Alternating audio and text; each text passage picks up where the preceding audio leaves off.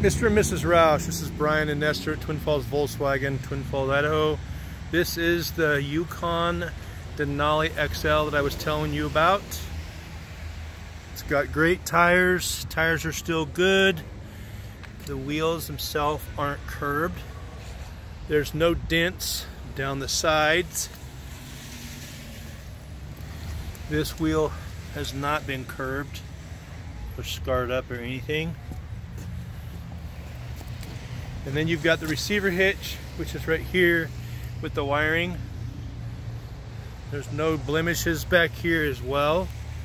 And then you've got no blemishes down this side also. And this wheel right here is nice and clean. A little road rash right here, a little curbing. Right there, right here. But with 117,000 miles on it, it's not bad. And those curbing marks sometimes come from car washes. Sometimes when you're sitting at a the mall and you turn and hit the curb, it does have a clear bra on the front of it as well, which will help protect the vehicle from rock chips and that type of stuff. The whole front bumper has been redone with the clear bra. It does have a clear windshield Windows are tinted. It does have the WeatherTech floor mats also, which are nice. Um, it does have the black leather seats. It does have, like I was telling you, 117,700 miles. It does have the sunroof, two Blu-rays, bucket seats in the back, heated cooled seats, heated steering wheel, integrated trailer brake to pull heads up display which means the speed and everything will show up in the windshield. It has memory seats.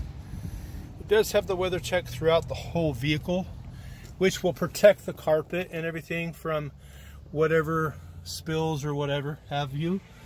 Um, the extra Blu-ray system it does have heated seats here as well.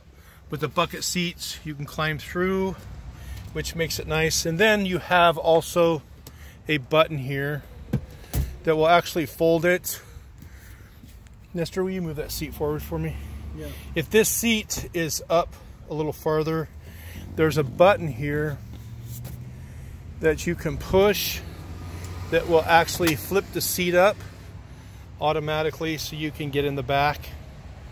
And to show you all that, how that works again, is if the seat is up, there's a button here that you push, folds it once, it folds it twice. So if somebody wants to get in the back, they can. And there is three seat belts back there as well, which makes it nice. And then back here on the back, you do have two clicks. You can do one click here just to raise the glass, which is nice you can get in the back without your luggage or anything falling apart, which is really cool. Or you can do the rear power hatch, which it does open up to give you that option as well. And then you have all this under here, which will lift up and you have all this for storage, blankets, jumper cables, what have you. Now, if you're back here, you can actually flip the seats forward if you want to lay the seats down. Same thing here. You can do the same thing back here. And then you can also flip this seat forward if you want. And you can actually flip that seat forward if you want. The only thing you have to do is flip the front two seats up manually. If you want these seats up, they will raise up from back here. So you can raise them up also from back here, which makes it nice. You have a push button here on the back hatch and with the Denali, what you have is you have air shocks. They're actually self-load leveling shocks. When you put weight on the back, it will level itself back out. So if you want a really, really, really nice SUV for the family, I think this one right here will do what you want to do and you guys will be happy. And it'll also pull your trailer like you want. If you have any questions, just give Brian or Nestor a call at 208-733-2954 Twin Falls Volkswagen. Thanks.